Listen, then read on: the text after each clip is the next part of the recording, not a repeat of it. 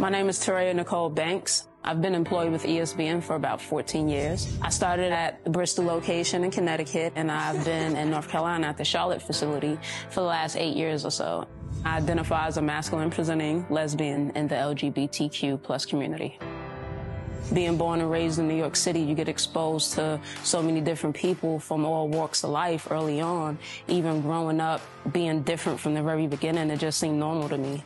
When I was younger, I was watching the uh, Sally Jessy Raphael show with my grandmother, and it was the episode with T-Boz from TLC.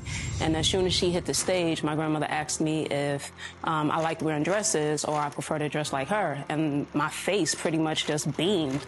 And then she looked at me and was like, well, would you rather play with dolls or G.I. Joes? And again, my face just lit up.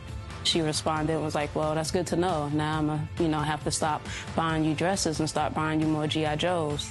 I remember her just taking my, my face in her hands and looking at me with compassion and just being attentive to my needs at that moment. Said, you know, as you get older, there's going to be some people that's not going to like the fact that you are a girl, that you don't like to wear dresses or play with dolls, but that's okay. If it finds you peace and happiness in life, do it. That gave me everything I need to, to grow up and identify as masculine presenting without any problems. Look straight? Ha! I don't know how to look straight. That's not possible for me. I like my community to have the privilege to be themselves and not have to offer any kind of explanations.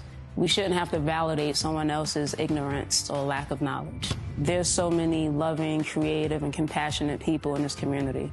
I would really hate for the world to miss out just because of stereotypes. My voice matters here at ESPN because it dismantles typecasts and breaks all stereotypes created by society. Like because I identify as a masculine presenting woman that I'm transgender.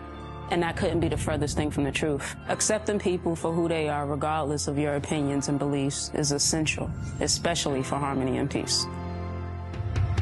We can